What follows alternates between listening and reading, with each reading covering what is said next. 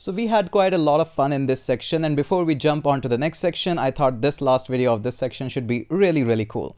So in this uh, section, one thing that more we are going to do is something really interesting. Let me show you a little bit more of the stuff. And by the way, from the last video, uh, notice here that says time.now, but there are a lot more additional stuff that you can do. Like for example, you can go ahead and say that I want to use a nanosecond, I want to use a Unix nano, which actually more precisely gives you the time and the bigger the number, the seed value is bigger and random and every time it's different. That's why I used a Unix nano, which is a common practice in Golang. Uh, but I think if you will use time.now nanosecond, that uh, should also give you fairly a decent random value. Anything, that's all great. So now let's just say you want to build an application which whenever you opens up just gives you a time on this command line prompt. Maybe, maybe for some reason you want to build an application. So Go actually allows you to give or gives you the tools which can help you to build EXEs, the executable for Windows, the Linux executable files, and for Mac files as well. And for this, we need to go back up here at the top and we have to say go env. This alone is a command that you can run and can find a lot about the Golang itself.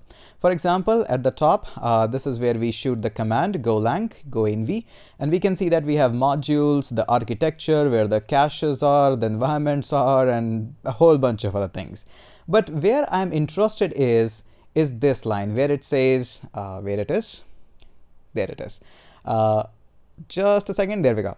Go OS. Now don't confuse it with the Go host OS. No, you don't want that. You want the Go OS. Now here in my case, it says Darwin because Mac is considered as Darwin. You probably might say Linux or might say Windows if you're on that operating system. And using this Go OS command, you can actually build for different operating system regardless of where you are. So for example, uh, let me just go ahead and clean this up.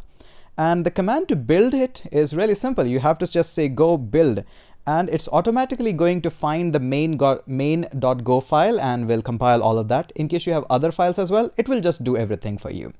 But before running this file, if you just go ahead and say, I want to change a value of Go OS and just use an equal, and I'm on a Mac, so I'll start with Windows. There we go, and put up space.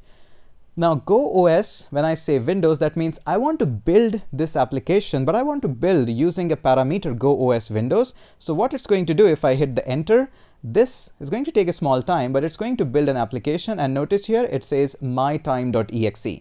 So in theory, or in practical also, if I would be on Windows, I can just double click and run this program. Of course, it's not going to do much apart from just showing me the time, but yeah, it is something.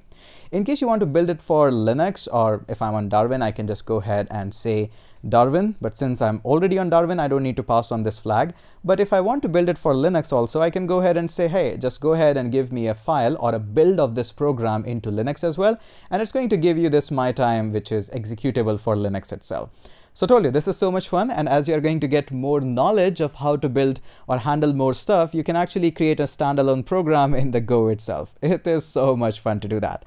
Now, your job is to find more about the parameters that I showed you. So I told you that there is so much in this environment. So go ahead, take a look at least. In case you want to explore something more, go ahead and do a little bit more research on that.